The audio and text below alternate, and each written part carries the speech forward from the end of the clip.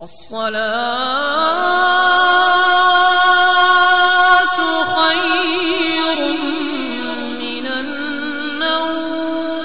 السلام عليكم ورحمة الله تعالى وبركاته. لك الحمد يا الله والصلاة والسلام عليك يا رسول الله. أما بعد فأعوذ بالله من الشيطان الرجيم. بسم الله الرحمن الرحيم. وقرنا في بيوتكن ولا تبرجنا تبرج الجاهلية الأولى. قال النبي صلى الله عليه وسلم المرأة عورة وفي رواية أخرى النساء عورة فإذا خرجت استشرفها الشيطان. صدق الله مولانا العظيم وصدق رسوله النبي الأمين المتين الكريم. ونحن على ذلك لمن الشاهدين والشاكرين. والحمد لله رب العالمين. حضرات محترم، میں نے جس آیت کریمہ کی تلاوت کی ہے، اس کا ترجمہ کرنے سے پہلے آئیے ایک بار شفیع معظم نور مجسم صلی اللہ علیہ وسلم کی بارگاہ میں درود و سلام کا تحفہ پیش کریں اور پڑھیے، اللہم صلی علی سیدنا و مولانا محمد معدن الجود والکرم و آلہ ابنہ الکریم، بارک وسلم. حضرات محترم آپ دیکھیں کہ آج ہر جگہ قوم مسلم مشق ستم بنی ہوئی ہے۔ ہر جگہ قوم مسلم پریشان حال ہے۔ آخر اس کی وجہ کیا ہے؟ آخر حقیقت کیا ہے؟ آخر معاملہ کیا ہے کہ ہمیں اپنی مذہبی آزادی کے ساتھ جینے نہیں دیا جاتا؟ کبھی طلاق پر بل پاس کیا جاتا ہے اور اب ہماری ماں بہنوں کی عزتوں کو اچھال کر پردے کو نشانہ بنایا جاتا ہے۔ تو آج میں نے اپنے موضوع کا جو انتخاب کیا ہے، وہ یہی ہے کہ پردے کے متعلق قرآن قرآن و حدیث میں جو واحدات آئی ہیں، میں آپ کے سامنے پیش کروں۔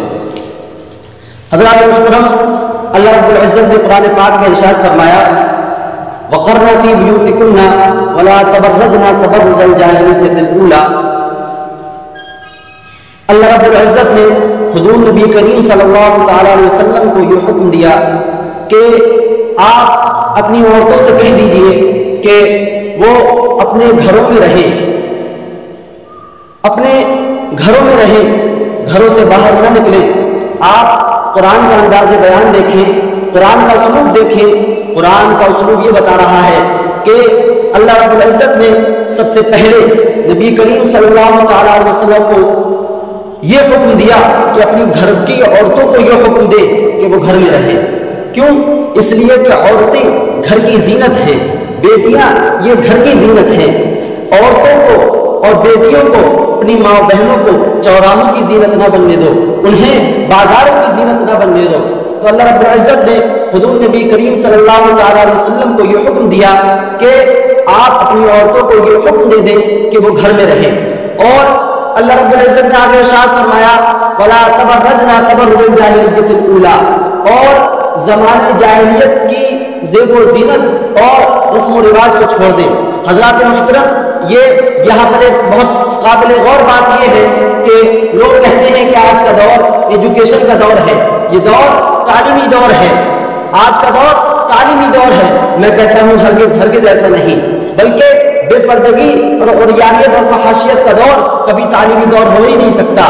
بے پردگی اور فحاشیت کا دور تعلیمی انحطاط کا دور ہے۔ بے پردگی اور فحاشیت کا دور تعلیمی انحطاط کا دور ہے۔ تعلیمی زبان پذیر کا دور ہے۔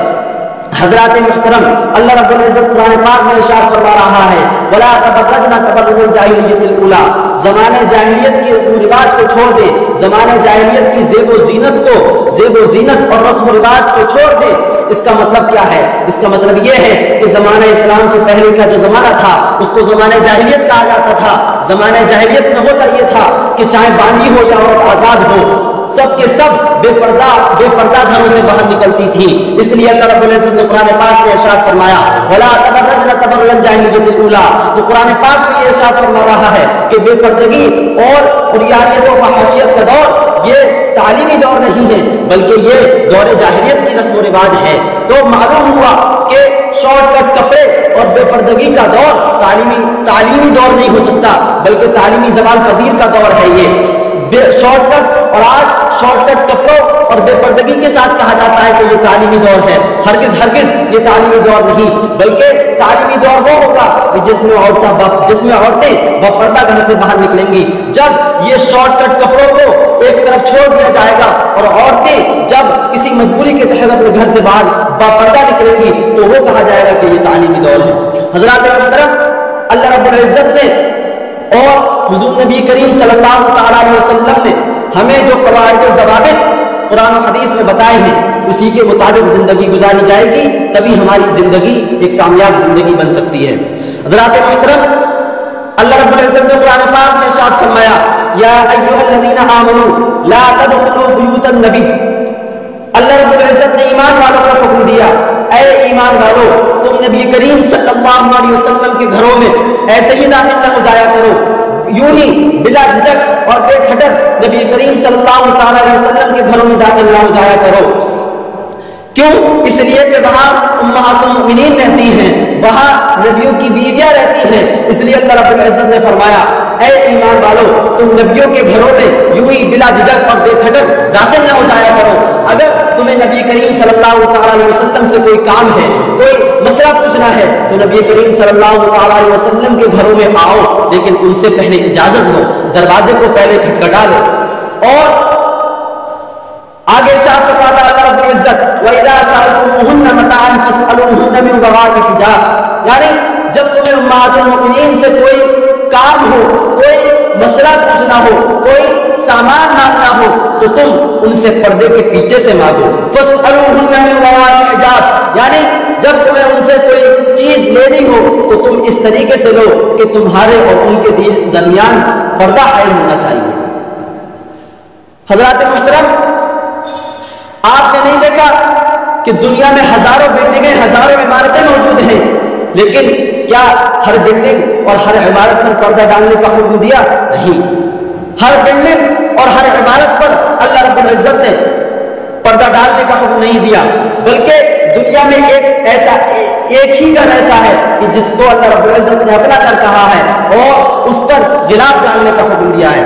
ایسے ہی حضرات محترم، دنیا میں ہزاروں قبریں موجود ہیں، لیکن کیا ہر کسی قبر پر چادر چڑھائی جاتی ہے؟ ہر قبر پر کیا چادر چڑھائی جاتی ہے؟ نہیں نہیں، ہرگز نہیں، بلکہ چادر اسی کی قبر پر چڑھائی جاتی ہے، جو کہ اللہ والا ہو، جو کہ اللہ کا برگزیدہ بندہ ہوتا ہے، چادر اسی کی قبر پر چڑھائی جاتی ہے۔ حضرات محترم، ان دو واقعات سے ہمیں یہ اندازہ ہو جاتا ہے کہ ہر کس و ناقص، ہر ایرے غیرے کو پردے کا حکم نہیں دیا جاتا۔ ہر کسی کو چھپانے کا حکم نہیں دیا جاتا، بلکہ چھپانے کا حکم اسی کو دیا جاتا ہے، جس کے چھپانے میں فائدہ ہوتا ہے۔ اور حضرات محترم، عورت کے بارے میں تو آیا ہی نہیں ہے۔ حدیث پاک میں حضور نبی کریم صلی اللہ علیہ وسلم نے اشارت فرمایا، المرأة عورت، اور ایک دوسری روایت میں اشارت فرمایا، النساء عورت فیدہ خرجت استشرفا شیطان یعنی عورت چھپانے کی چیز ہے، عورت کہلانے کی حقدار ہی وہی ہے، عورت کہلانے کی حقدار ہی وہی ہے جس کو چھپایا جائے۔ عورت کہلانے کی مجاز وہ عورت کبھی ہو ہی نہیں سکتی جو بے پردہ گھر سے باہر نکلتی ہو، جو شارٹ کٹ کپڑے پہنتی ہو حضرات محترم عورت کہلانے کی مجاز وہی عورت ہے کہ جس کو جو با پردہ گھر سے باہر نکلتی ہو، جو پردہ کرتی ہو۔ اب رہا یہ کہ عورت کو چھپایا کیوں جاتا ہے؟ ہمیں یہ حکم کیوں دیا گیا کہ ہم عورت کو چھپائیں؟ تو حضور نبی کریم صلی اللہ تعالیٰ علیہ وسلم نے ارشاد فرمایا، فَإِذَا خَرَجَتْ اسْتَشْرَفَا الشَّيْطَانِ۔ یعنی عورت جب بے پردہ گھر سے باہر نکلتی ہے، تو شیطان اس کو جھانکتا ہے۔ شیطان اس کو تاکتا ہے۔ اس کا مطلب کیا ہے؟ استشراف جو حدیث پاک میں لفظ آیا، اس کا مطلب کیا ہے؟ تو مفتی احمد یار کا نعیمی صاحب علیہ رحمت و رضوان مشکات المصادی کی شرح منت المناجی میں استشراف کا معنی یہ بیان فرماتے ہیں کہ استشراف کہتے ہیں کہ کسی چیز کو اچھا بنا کر پیش کرنا۔ تو جب عورت گھر سے بے پردہ باہر نکلتی ہے تو شیطان خود تو نہیں جانتا، شیطان خود نہیں جانتا، لیکن وہ اس عورت کو لوگوں کی نگاہوں میں اچھا کر دیتا ہے۔ اب اس عورت کو لوگوں کی نگاہوں میں اچھا کر دیا گیا۔ اب چوراہوں پر کھڑے کے لوگ، یہ اوباس، یہ گنڈے مواری اس کو تاک رہے ہیں، اس کو جھاگ رہے ہیں۔ اب وہ عورت بدنگاہی کا نشانہ بن نہیں ہے۔ اور جب یہی عورت باپردہ گھر سے باہر نکلتی ہے، جب یہی عورت گھر سے پردے کے ساتھ باہر نکلتی ہے تو حضرات محترم چوراہوں پر کھڑے آواز چوراہوں پر کھڑے یہ گندے موالی، ان کے دل میں روح پیدا ہو جاتا ہے۔ اس عورت کے لیے ان کے دل میں ایک خوف پیدا ہو جاتا ہے۔ جب بے باپردہ عورت گھر سے باہر نکلتی ہے تو اب اس کے دل میں ایک روب اور ایک خوف پیدا کیا جاتا ہے۔ اور اس روب اور اس خوف کی وجہ سے ان لوگوں کی نگاہیں جھک جاتی ہیں۔ اب اس کو تاکا نہیں جاتا، اب اس کو جھانکا نہیں جاتا۔ حضرات محترم عورت کا پردہ عورت کے لیے بوجھ نہیں ہے، بلکہ اس کی آبرو کا پیرہن ہے۔ عورت کا پردہ اس کی عظمتوں کا نشان ہے۔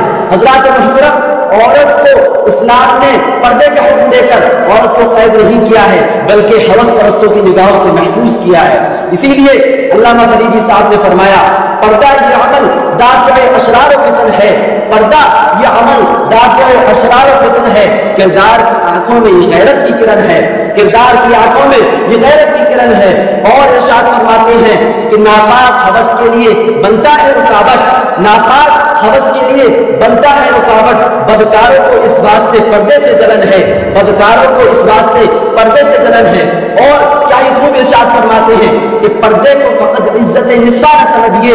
پردے کو فقط عزت نسواں نہ سمجھیے۔ یہ دشمن اسلام کے خوابوں کا کفن ہے۔ وما علینا الا البلاغ السلام۔